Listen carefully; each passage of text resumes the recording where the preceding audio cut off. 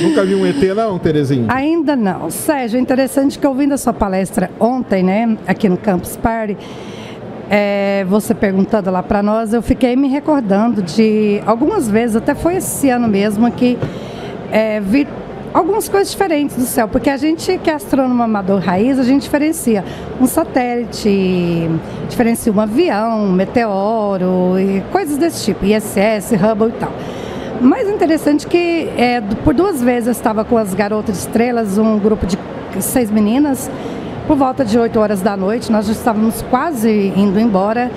Sabe quando de repente você está olhando para o céu assim e aparecem lá três brilhantes luzes, tão brilhantes quanto o planeta Vênus, quanto a estrela Sirius. E naquele auge de estar olhando, você fala, é, olha, olha, olha. E as crianças olham e você fica impactada com aquilo que você está vendo. E, e, aí, de repente, elas começam a sumir aquelas luzes. Da última vez, Sérgio, sem brincadeira nenhuma, as meninas podem comprovar.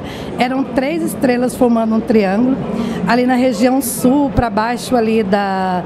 É, não me lembro bem a constelação que era eu acho que era Tucano, porque fica bem no sul, então a gente tem um horizonte muito bonito. E as meninas olharam, a gente ficou impactada. E pega o celular, filma, filma. Quando a gente vai filmar, cadê? Aí vai para o aplicativo para olhar qual seria aquele satélite tão brilhante que tinha aparecido ali. Nada. Então são apenas essas coisas assim que acontecem. Mas ET eu nunca vi. Entendi. Gostaríamos muito que eles aterrissassem lá em Rio Paranaíba, no Alto Paranaíba, que temos um céu fabuloso, né? Aí eu te convido, vou mandar falar para dar um recadinho para eles lá. Que é um ótimo lugar para eles pousarem, ah, né? Com certeza, Planalto, lá região com bastante é bastante plantações, o pessoal gosta de ver os ETs das plantações, de repente eles fazem lá um pouso lá e colocam aquelas imagens maravilhosas para nós lá em Rio Paranaíba. Lá tem, lá tem plantação, lá tem mato para amassar, muito, viu? Muito, muito mato para eles amassarem lá. Tem.